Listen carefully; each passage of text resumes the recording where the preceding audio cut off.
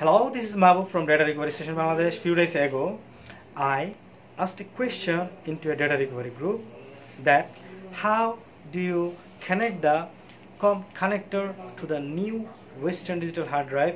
As a reference, I gave you two pictures.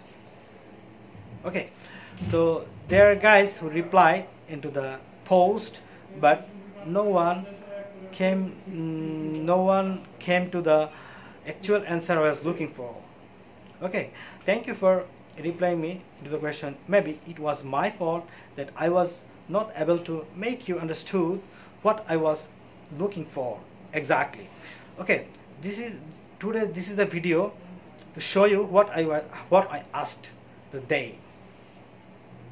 Okay, see this is the regular hard drive we, we get that we can use the uh, com connector to this hard drive we can push it here and it is placed. Then we can um, get access to the hard drive. Okay. But the newest hard drive arrived. This one I use the uh, reference picture of this hard drive. See the where I will place the com connector. Okay the this is filled up with plastic materials. Okay it is sealed it is fixed. So if we need to place the connector we have to break it or we have to uh, maybe we have to solder it this area.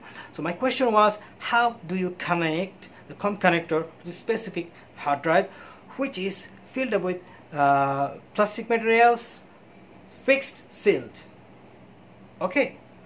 So so far it has been several days but i did not break it break the plastic materials because the hard drive is not supported by the existing technologies of the world so far. That's why i'm waiting for the mm, next release. When it will be supported then i will go or take re- uh, required action to place the com port or to connect with the com. Okay this is my question. So thank you for watching.